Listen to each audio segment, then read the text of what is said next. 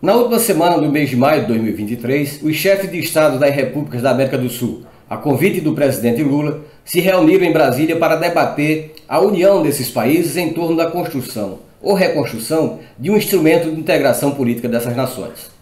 Com o discurso em defesa da retomada da integração da América do Sul, o presidente Lula abriu, na terça-feira, 30 de maio de 2023, a reunião de chefes de estados da América do Sul, realizada no Palácio do Itamaraty, em Brasília, com o propósito de reorganizar a União das Nações Sul-Americanas, a Unasul. Afirmou Lula, como anfitrião do evento, sobre aquele encontro, que o que nos reúne hoje em Brasília é o sentimento de urgência de voltar a olhar coletivamente para a nossa região. É a determinação de redefinir uma visão comum e relançar ações concretas para o desenvolvimento sustentável, a paz e o bem-estar de nossas populações. Participaram do encontro os presidentes Alberto Fernandes, da Argentina, Luiz Arce, da Bolívia, Gabriel Boric, do Chile, Gustavo Petro, da Colômbia, Guilherme Lasso, do Equador, Irfan Ali, da Guiana, Mário Abdô Benítez, do Paraguai, Chan Santoque, do Suriname, Luiz Lacalle Pou, do Uruguai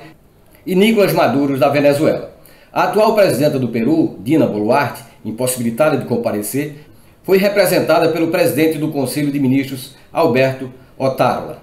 A integração dos países sul-americanos em um órgão político como a Unasul, em um momento de mudanças na geopolítica internacional, amplia as possibilidades de autoafirmação dessas nações, ao tempo que pode se distanciar dos tentáculos imperialistas dos Estados Unidos, que massacra há séculos esta região.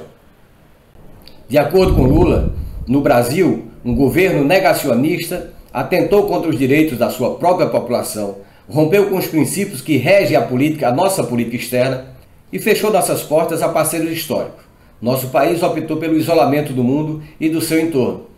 Essa postura foi decisiva para o deslocamento do país dos grandes temas que marcaram o cotidiano dos nossos vizinhos. Na região, deixamos que as ideologias nos dividissem e interrompessem o esforço da integração. Abandonamos canais de diálogo e mecanismos de cooperação e, com isso, todos perdemos. Lula defendeu ainda que os países da região precisam reavivar o compromisso com a integração. Para ele, os elementos que nos unem estão acima de divergências de ordem ideológica. Da Patagônia e do Atacama à Amazônia, do Cerrado e dos Andes ao Caribe. Somos um vasto continente banhado por dois oceanos. Somos uma entidade humana, histórica, cultural, econômica e comercial, com necessidades e esperanças comuns. Neste encontro foi formulado o documento intitulado Consenso de Brasília, que visa aprofundar a integração das nações sul-americanas em torno de políticas estratégicas para a região. Neste sentido, o documento indica nove pontos. A saber, a convite do presidente do Brasil, os líderes dos países sul-americanos reuniram-se em Brasília em 30 de maio de 2023 para intercambiar pontos de vista e perspectivas para a cooperação e a integração da América do Sul.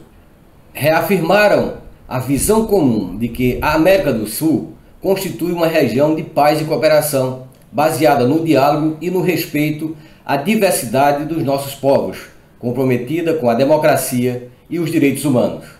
o desenvolvimento sustentável e a justiça social, o Estado de Direito e a estabilidade institucional, a defesa da soberania e a não interferência em assuntos internos. Coincidiram em que o mundo enfrenta múltiplos desafios em um cenário de crise climática, ameaça à paz e à segurança internacional, pressões sobre as cadeias de alimentos e energia, riscos de novas pandemias, aumento de desigualdades sociais e ameaças à estabilidade institucional e democrática. Concordaram os chefes de Estado que a integração regional deve ser parte das soluções para enfrentar os desafios compartilhados da construção de um mundo pacífico, do fortalecimento da democracia, da promoção do desenvolvimento econômico e social, do combate à pobreza, à fome e a todas as formas de desigualdade e discriminação, da promoção da igualdade de gênero, da gestão ordenada,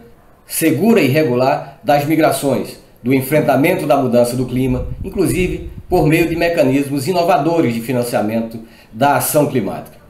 da promoção da transição ecológica e energética a partir de energias limpas, do fortalecimento das capacidades sanitárias e do enfrentamento ao crime organizado transnacional.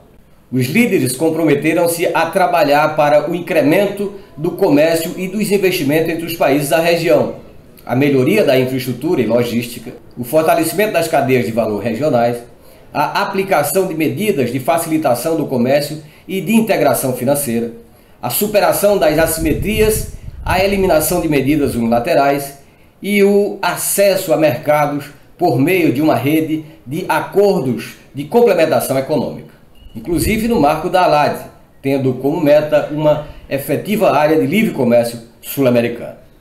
Reconheceram a importância de manter um diálogo regular com o propósito de impulsionar o processo de integração da América do Sul e projetar a voz da região para o mundo.